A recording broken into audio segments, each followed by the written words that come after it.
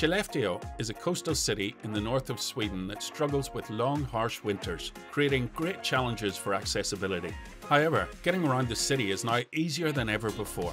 Skellefteå's public transport has undergone many changes over the years. Buses in the city network, as well as the main bus station, are now fully accessible with ramps and accessible information available with audio description. In addition, local transport is free for those with an accessibility travel card.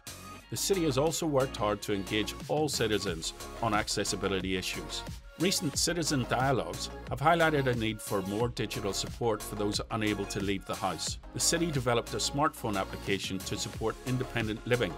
On top of this, cultural events held in the city now benefit from the main arena's accessibility improvements. The Swedish Winter Championships 2018, held in Skellefteå, used this arena and great efforts were made to make the entire event accessible, from ice-free paths to wider entrances. For overall approach to accessibility and progress in the area of public services in difficult conditions, Skellefteå wins third prize in the Access City Award 2020.